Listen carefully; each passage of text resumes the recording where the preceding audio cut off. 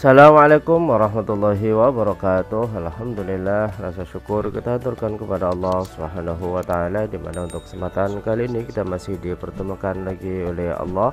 Dan semoga saja pertemuan kita kali ini juga bisa memberi manfaat kepada saya pribadi dan juga kepada kalian semuanya.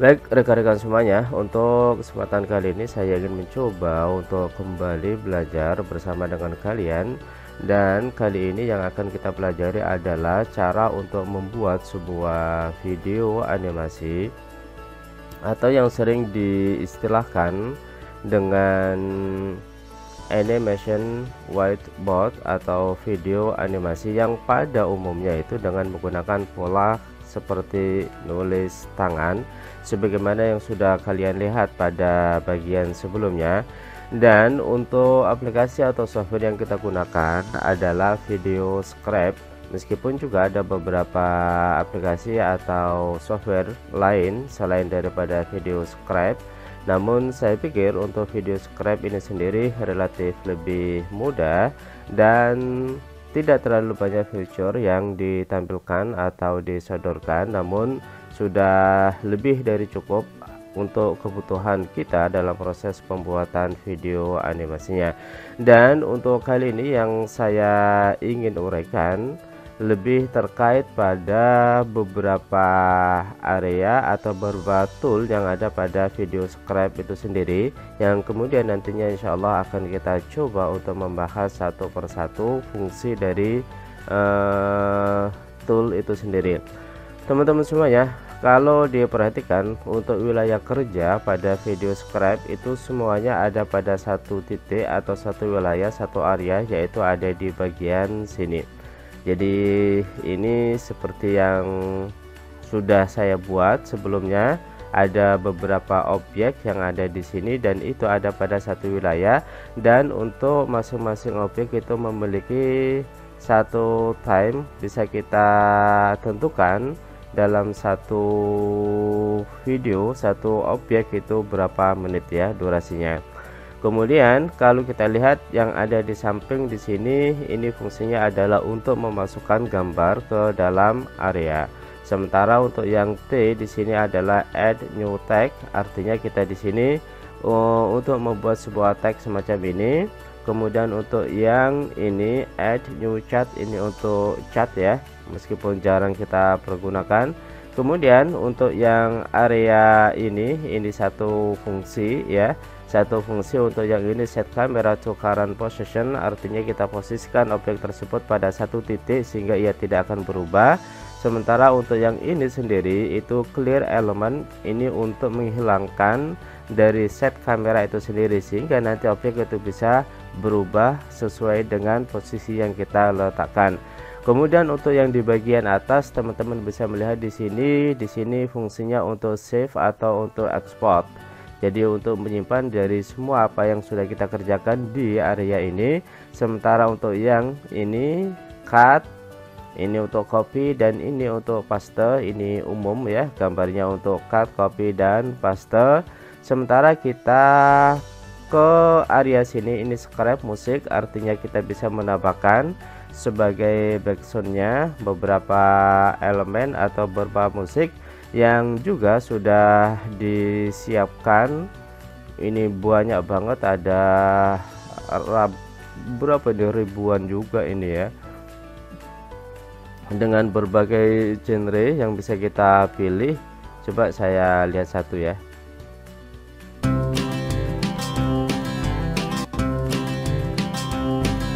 Ini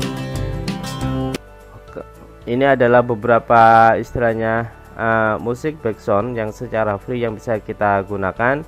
Sementara ini adalah loop friendly tracking artinya pada saat kita ingin menjadikan background ini berulang pada saat mengikuti dari video atau objek yang sedang kita mainkan atau yang sedang berjalan. Dan kita juga bisa memasukkan sendiri uh, audio yang dari luar atau dari laptop kita dengan menekan tombol area sini import mp3 jadi satu uh, satu satu audio namun extensionnya adalah mp3 selain itu gak bisa. Kemudian untuk yang area sebelahnya sini ini adalah untuk voice over artinya teman-teman bisa langsung merekam. Kemudian audionya hasilnya itu langsung ada pada posisi di area sini kemudian di sini fungsinya untuk background option untuk merubah background layar yang ada di bagian depan. Misalnya ini kita coba untuk ubah warna kuning misalnya. Uh, dia akan berubah menjadi warna kuning semacam ini. Sementara ini untuk merubah bentuk dari tulisan seperti ini misalnya ya. Kita coba oke. okay. Nah, untuk merubah tulisan tangan itu nanti bisa teman-teman lakukan dengan menggunakan ini. Saya klik lah, ini ada banyak sekali, ada ratusan juga yang bisa kalian pilih. Dan jika kalian ingin menggunakan tangan, kalian sendiri itu pun bisa nanti ada cara untuk mengekspornya kemudian untuk wilayah sini pada saat kita ingin mereview ingin preview mulai dari awal hingga akhir objeknya. Sementara ini kalau kita ingin preview hanya pada titik atau objek tertentu. Misalnya kalau kita preview mulai dari sini berarti kita mengacu pada sini. Namun pada saat kita klik di sini dia akan preview mulai dari awal sampai akhir. Sementara untuk yang ini itu fungsinya untuk mengekspor. Kalau teman-teman lihat di sini ekspornya itu bisa bentuknya itu ada AV ada Windows WMV Move AV Nah ini semuanya untuk yang MP3 gak, gak ada ya. Jadi mp4 gak ada jadi nanti kita bisa mengekspor ke dalam bentuk mp4 dengan uh, aplikasi yang lainnya. Nah teman-teman juga bisa langsung upload ke Vimeo atau upload ke PowerPoint jadi nanti bentuknya itu menjadi video yang terinsert di PowerPoint kemudian untuk yang di bagian bawah ini untuk yang di bagian ini ini biasa ini untuk menggeser posisi ya. E, bisa secara manual semacam ini. Oke bisa juga dengan menggunakan ini. Kemudian untuk yang di sebelahnya sendiri ini untuk zoom in untuk memperkecil ya sementara ini untuk yang sebaliknya dan untuk ini pada posisi normal atau pada posisi standar Nah, itu beberapa fitur yang ada di video scrap. Dan sekarang saya ingin mencoba untuk membuat uh, atau untuk langsung penggunaannya. Kita coba dari sini ya, add new image. Add new image kita akan diposisikan pada satu area di mana kita bisa langsung memasukkan beberapa image yang ada di dalam video scrap itu sendiri. Dan ini ada ada banyak sekali. Ini ada ribuan yang bisa langsung kita pergunakan. Jadi untuk image itu sendiri bisa SVG terutama SVG ya karena nanti bisa uh, menulis sesuai dengan alur gitu sementara untuk yang JPEG itu bisa juga. Kemudian untuk selain JPEG itu PNG juga bisa GIF juga bisa. Nah ini beberapa uh, gambar image yang bentuknya SVG yang memang sudah disiapkan. Saya coba untuk ngambil satu ya misalnya dari teknologi ini. Kemudian teman-teman tinggal klik di bagian sini otomatis sudah masuk ke dalam area tertentu ya. Ini adalah areanya. Misalnya saya coba untuk posisikan di daerah sini. Ya ini otomatis sudah bisa.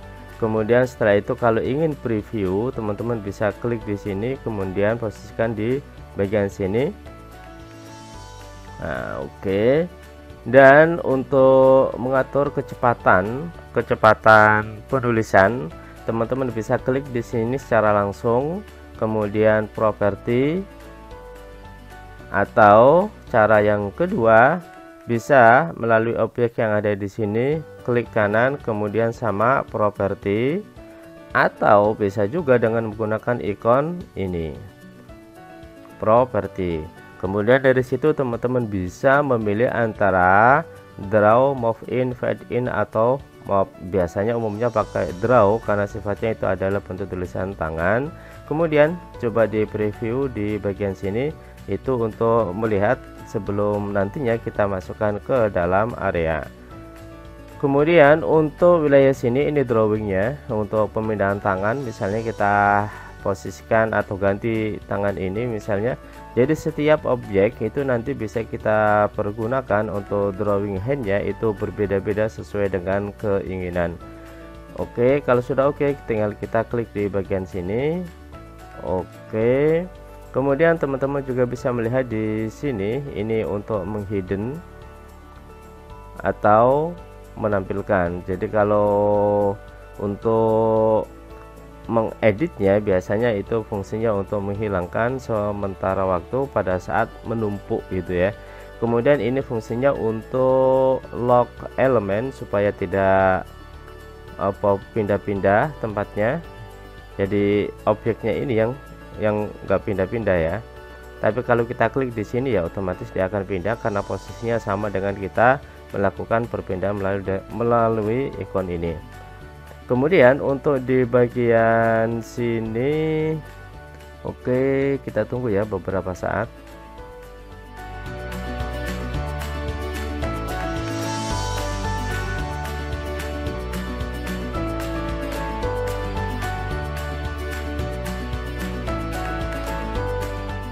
Nah kemudian untuk yang ini view elemen kamera ini fungsinya untuk memposisikan pada satu titik yang benar-benar itu ada di bagian tengah di bagian sentral. Jadi misalnya ini saya rubah ke sini misalnya kemudian kita ingin memposisikan di bagian tengah persis silahkan diklik pada area sini. Oke ya itu gampang seperti itu ya. Kemudian untuk yang ini sekarang kita coba untuk membuat tag. Misalnya ini kemudian kita lock ya. Jadi nanti saya membuat tag ada di sini dia akan menulis kita lock di bagian sini oke baru setelah itu kita buat tag di sini. Kemudian saya belajar video scribe nah ini bisa dilihat beberapa elemen yang ada di sini. Teman-teman juga bisa melihat uh, dari beberapa aspek ya beberapa sisi warnanya juga bisa fontnya juga bisa. Kemudian bentuknya mau reguler mau bold atau mau italic itu juga bisa. Dan jika sudah selesai klik di bagian sini dan dia akan masuk di wilayah sini tinggal disesuaikan saja. Untuk nyeret memperkecilnya oke tinggal diseret semacam itu. Baru setelah itu nanti kita coba untuk preview ya ini saya klik di sini ini berapa lama durasinya durasi waktunya? Ini 5 misalnya kita ingin mempercepat ya tinggal di uh, kurangi. Sementara ini adalah pause dan ini transitionnya juga kita ya kita nolkan sajalah biar enggak terlalu lama. Kemudian kita coba untuk preview mulai dari sini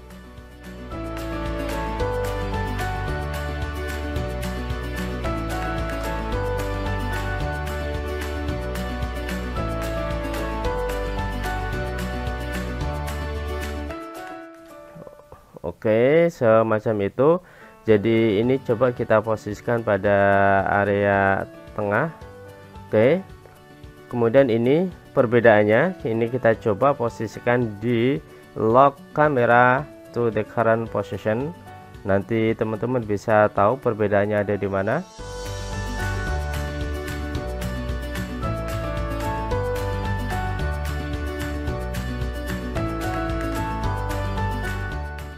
Oke jadi dia hanya akan ada pada satu posisi ya. Dia tidak akan bergerak seperti uh, yang lainnya. Kemudian misalnya kita ingin mencoba untuk mengambil area sini kemudian kita masukkan satu objek lagi misalnya kita coba masukkan di sini ya. Uh, kemudian ini kapal ya. Jadi semua yang sudah kita pakai nantinya itu akan masuk di wilayah sini di recently use. Kita coba wilayah sini baru setelah itu kita posisikan di sini kita ingin lihat perpindahan ya perpindahan mulai dari sini ke kapal.